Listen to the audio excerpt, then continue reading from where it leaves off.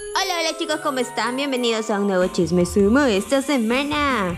Solo para agradecerles siempre por estar suscribiéndose, por ver los videos y también por comentar en la comunidad. Ahí estoy sacando un poco de sus ideas, no se preocupen, ya va a haber un vivo para hablar de eso. Vamos a empezar el chisme sumo y pues resulta que siguen fastidiándola a la Dixie. ¿Por qué lo trata mal a Noah? ¿Por qué no lo quiere como él la quiere a ella? Bueno, esta vez siguen con ese tema de preguntas y respuestas que hubo con el detector de mentiras y pues a Dixie se le escuchó diciéndole a Noah que ella no es mala con él, sino que él es muy sensible. Done. That's fine. Don't think I'm mean to you.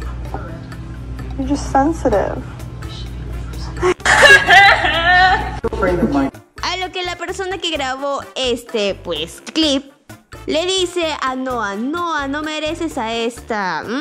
Salven a Noah Beck. Ella no esperó que en ese TikTok Noah le responda. Noah Beck, la gente en los comentarios por favor paren. Dix y yo nos amamos, solo que ustedes no pueden ver cómo realmente somos fuera de las redes sociales. Yo creo que ahí ya les paró el carro a muchas personas. Otros que sí están súper contentos, felices y todo lo demás porque ya cumplieron dos mesecitos son pues Addison y Bryce.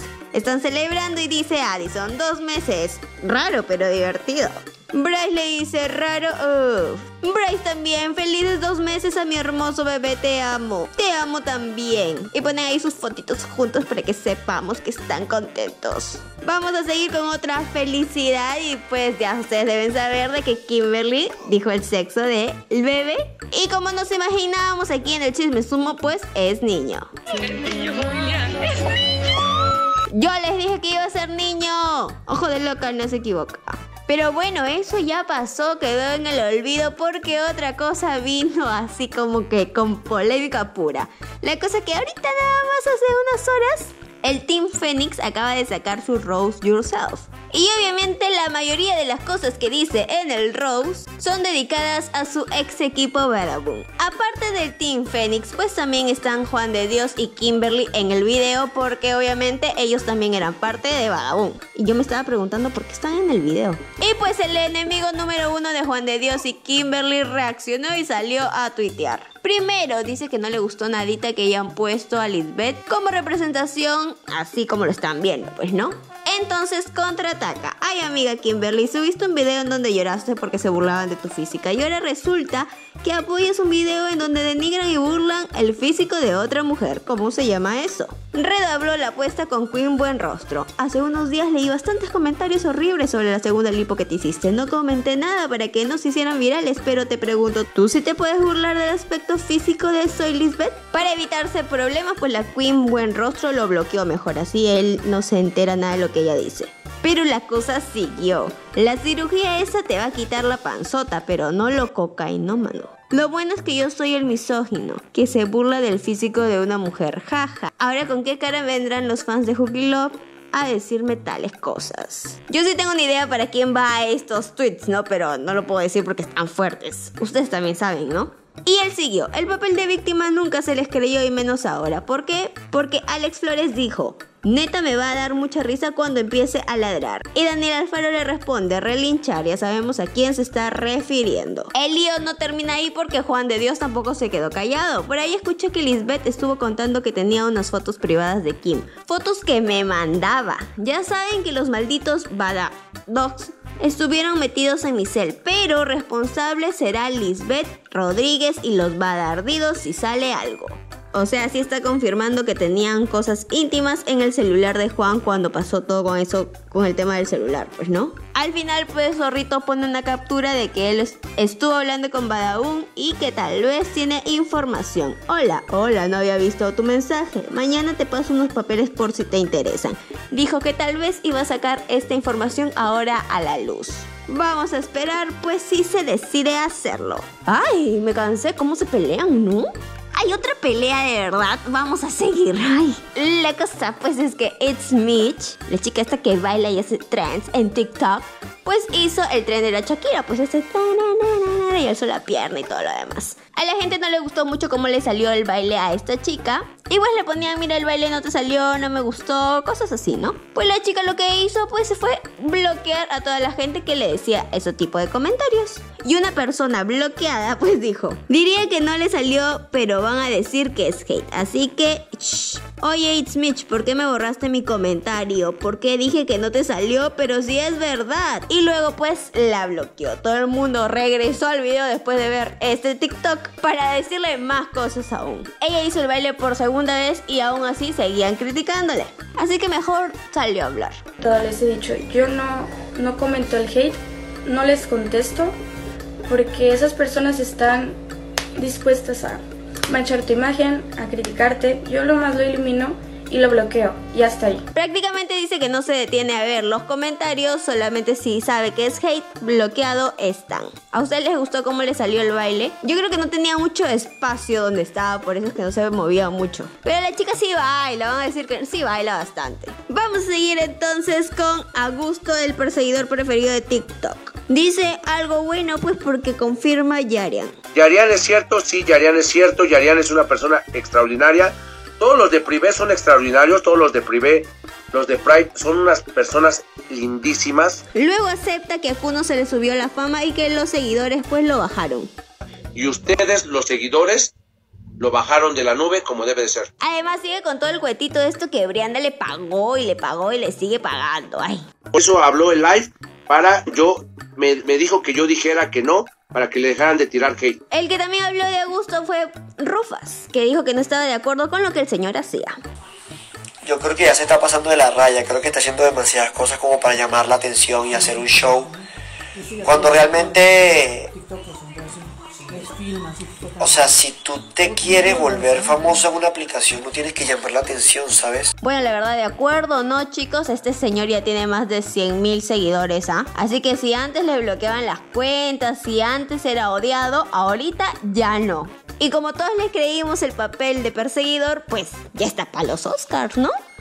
Vamos pues con Keblex. ¿Qué le pasó estos días a Keblex? Que estuvo súper sincero. Hizo un live, un en vivo y la gente le empezó a preguntar por la Dome Dome porque obviamente pues Keblex. De aquí ponte un año más y te van a seguir preguntando, ¿eh? Vamos a ver lo que dijo. ¿Extrañas a Dominic? No para nada. Que flipa aquí. Eso no existe, nunca existirá de nuevo.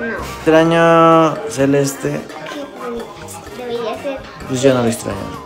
Deberías con... No. En algún punto esa fecha fue muy importante, por no decir la más importante para mí, pero ahora ya no es nada. Ya no significa nada, es una fecha normal. 15, 16, 17 es lo mismo. Ya no significa nada para mí. Sí, pues claro que sí. Me gusta su contenido, la verdad. Es muy cool. Reales hasta la muerte. Prácticamente dijo que nada que ver con Dome, cada uno por su lado, ya no pasa nada.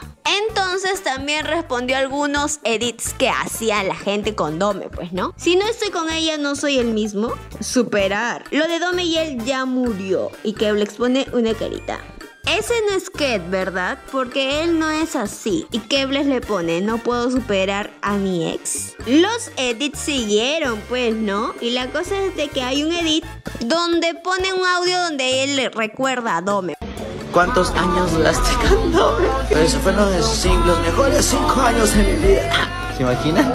Y luego esta misma chica que hace los edits pone otro como si él le hubiera respondido esto. Viva que blipa. Y ella pone estoy en shock. Entonces todo el mundo se lo creyó porque decía hace tres horas. Ella aclara, el comentario de Kev yo ya lo tenía hace un buen. Explica que tiene lo de tres horas porque lo capturó cuando todavía tenía tres horas la publicación. Pero que ya es hace mucho tiempo. Igual este Kevlex sí respondió en ese video. Pero dijo do babes. Que la gente lo interpreta como no mames, sea, no pasa nada, supérenlo. Además, además puso unos tweets como para dejar todo en claro, ¿no? Volver con tu ex es como tragarte tu vómito. O sea, no va a volver. Ya de por sí lo dijo. En cosas un poco más graciosas, pues estaba haciendo un vivo con Ami Rodríguez y él le dice que prefiere el rot. Ah. Y por último, prefiero mil veces al Yo también Y hablando del Rod y la Dome, pues estaban criticando a Dome porque dicen que estando con Rod no se arregla mucho. No es como cuando estaba con Kevlex. Y le ponen, ¿no? Con Rod tiene su cabello en desorden. Con Kev se lo planchaba y se peinaba. En fin, la relación más falsa que he visto es Dome con Rod. Y ella le responde, güey, madura. Gente, uno se viste como quiere por el estado de ánimo que tiene en ese momento. Si quiere uno salir en pijamas porque está, no sé, relajada. Si quiere uno vestirse con los tacones es porque en ese momento lo quiso hacer. No creo que tenga nada que ver con quién estás. Y por otro lado, también sus amigos ex compañeros de Team La Chelly House están haciendo pues un workshop, TikTok workshop más meet and greet. O sea, vas a pagar porque vas a conocer a tus ídolos, como diría Gusto. Los dioses del Olimpo. Pues la gente está criticando mucho porque dicen que no van a pagar por un simple Y pues ellos responden de que van a enseñar también técnicas de TikTok y cómo crecer en esa plataforma. ¿Alguien de aquí ya compró su entrada? Vamos con la sección Cura papi que tu plac, tu plac, tu plac. ¿Qué pasa con el cuno? Está muy respondón. No existe esa palabra, lo sé. Primero, pues, primero le preguntan por las amistades verdaderas, o sea, la Jime y la Dome, sus amistades preferidas. Cuno, ¿qué pasó con Jimena? Estamos súper bien. Actualmente ya estamos como amistades sinceras y todo en privado para que no haya más toxicidad. Sigue siendo amigo de Dome. Ambos hemos estado demasiado ocupados, no hemos hablado ni por WhatsApp ni tenemos comunicación, pero la amistad sigue y tenemos a todos una naranja, entonces eso nos une. También le preguntan a quién bloqueó. ¿Me puedes decir el nombre de algún TikToker que tengas bloqueado? Pues con quienes ya no vivo. ¿Se acuerdan que hubo todo ese lío? Hasta ahorita no nos dicen por qué se pelearon, pero se pelearon, ¿ah? Porque después, bueno, igual él agradece por haber vivido con ellos. ¿Te gusta vivir con gente de, de Colombia? Lo que voy a decir es que estoy muy agradecido por abrirme las puertas de su casa. Lo que haya pasado después, no me pueden decir a mí mal agradecido y grosero porque son cosas que se mantienen entre nosotros. Yo sí quiero saber ese lío. Está pendiente, está pendiente. Y por último, la pregunta que no puede faltar es de Samuel López. ¿Cómo te llevas con Samuel actualmente? Mejor. Bien. Y todo está en privado. ¿Cómo que está todo bien? Y este tweet, el único cambio que veo en esa persona es su nueva nariz y su sonrisa falsa. Ah, ya ni sé, ya ni sé. ¿Ahora se pelearon de nuevo o a quién se lo dedica? Vamos con la sección Privé. Quédate aquí para ver a Privé. Oigan, ese Orson está potente, ¿ah? Porque ya le está dando likes a todas las fotos de la Luana, tirando su maicito a ver si la Luana se viene para México. Aparte también, Luana también por ahí le dice, esta pizza está para compartir. La quiero compartir, los comentarios siguen. Hacen dúos como cuando dices, ay, ¿qué le dirías a tu crush? Y pues Orson explica qué es lo que le haría a su crush y ella pone anotado y Orson carita de avergonzado. Por arriba dice Ingratax te hablan. No, no, no, no creo que le hablen a Ingratax, ya no. Pero el Orson nos confunde, chicos. Porque miren, Michelle subió esta foto pues sin maquillaje. Y el Orson pone, sin maquillaje te ves más perfecta. ¿Para quién es ese Orson? O sea, decídete. Bueno, los que ya parece que ya no pasa nada y ya no tienen nada son Naim y Diana. Diana dejó de seguir a Naim, a la gente le sorprendió mucho. Parece que se pelearon por ahí y Naim sube un TikTok diciendo yo desayunando con mi novia mientras me canta, ¿no? Y abajo pone quiero novia, o sea, no la tiene.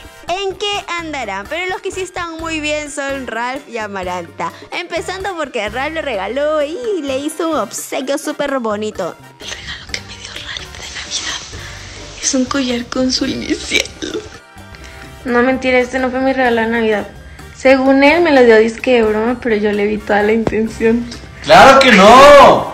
Era de broma. No era de broma. Me dijo, te, te compré este de broma. Pues ahora te lo pongo. La gente en los comentarios me da muchísima risa. Dicen, el Ralph, el tóxico. Porque está marcando territorio con la R, pues. Aparte siguen los comentarios lindos como qué belleza y él pues sonrojándose y poniendo corazones. La que sí está también bien, todos están súper, ¿no? Porque Darian le resultó que ahora es imagen de Bresca y salió ahí en la página principal. Además que está súper contenta porque el Jan le hizo un desayuno de amigos nada más, ¿eh? Quiero que vean lo que hizo Casi. Es un desayuno romántico. La gente le ponía eso, no, es de amigos, oigan. Pero vamos a decir que sí es de amiguis. Aparte, en una foto que puso Darian donde está comiendo una pizza, Jan le pone qué rica está. ¿Quién, Jan, la pizza o Darian? Obviamente sabemos que ese comentario fue de doble sentido, lo descubrimos. Y parece que Darian también ya tiene a la familia comprada. Con la cuñi se lleva súper bien. Hello, oigan, quiero contarles que hoy Pepe Nana me dijo que la acompañara a hacer unas cosas y terminamos en Pandora. Y ¡ay, Y tenemos el mismo charm que es dos pasaportes. Ella porque su primera vez saliendo del país fue a Colombia y la mía porque mi primera vez saliendo del país fue a México. ¡Ay, pinche! Porque son así. Ah, les ha caído bien las fiestas, ¿eh? Para la alegría de muchos, Orson dice que está pasando con Privé, se separan, no se separan, ¿por dónde va el camino de estos chicos? No, nada de eso. Estamos preparándole cosas muy, muy, muy cool. Ahorita cada quien está como que con su familia porque ya se viene diciembre, ya, ya es época de pasar cada quien con su familia, cada quien como que en su trip. Pero se viene 2021 con todo. ¡Te esperamos 2021! Bueno, sí, pues se iban a separar porque están en fiesta, se van a mudar, todavía no sabemos a dónde, pero no todos juntos en el mismo departamento, pero tal vez en el mismo edificio como lo dije anteriormente, así que no creo que se separen por un tiempo. Hasta aquí el video de hoy, si te gustó el video dale like, suscríbete y activa la campanita. No te olvides que tengo Instagram, puedes ir a visitarme y a chismear qué hago por ahí. Vamos a tener un vivo y como les dije, pues ganó acá en YouTube. Vamos a hacerlo en YouTube esta semana, así que muy atentos con todo el tema este que estábamos hablando de los premios Chisme Sumo. Para eso era el vivo. Pueden ir a ver el chisme por donde se les dé la gana, saquen la vuelta, pero no me dejen. Gracias chicos.